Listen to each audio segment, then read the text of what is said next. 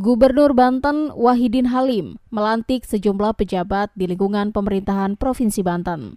Salah satunya yaitu Kepala Dinas Pendidikan dan Kebudayaan Banten.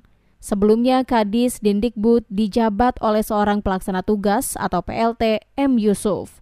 Sedangkan saat ini dikepalai oleh Tabrani. Tabrani sebelumnya menjabat sebagai Kepala Dinas Koperasi Usaha Kecil dan Menengah atau UKM Banten.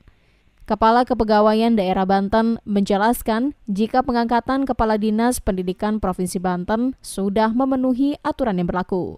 Secara keseluruhan prosedurnya sudah ditempuh ya dan diawasi oleh KSN sebagai pihak atau lembaga yang memang ditugaskan untuk mengawasi pengisian JPT Pratama dan saya pastikan juga dari si aturan juga tidak ada aturan yang dilanggar.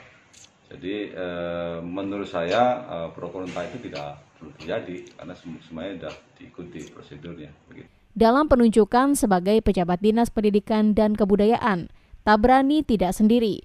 Ada enam eselon dan dua lainnya yang ikut dilantik Gubernur Banten Wahidin Halim.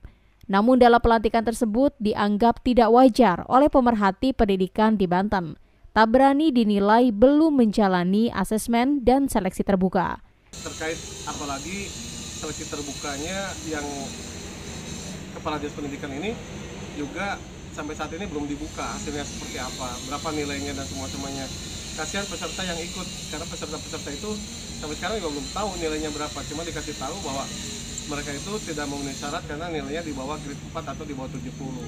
Padahal ada satu peserta yang di atas yang nilainya di atas 70. Nah, ini menurut saya juga harus terbuka. Kami mendorong agar ini dilakukan seleksi ulang karena sangat-sangat tidak fair ketika orang yang tidak lulus administratif tapi sekarang bisa menjadi kepala dinas. Artinya janganlah memberi contoh sesuatu yang tidak yang tidak baik kepada dunia pendidikan. Apalagi kita juga uh, kami pun mengetahui ada rekam jejak yang bersangkutan yang menurut pendapat kami itu harusnya menjadi pertimbangan tersendiri karena menyangkut dugaan kasus korupsi.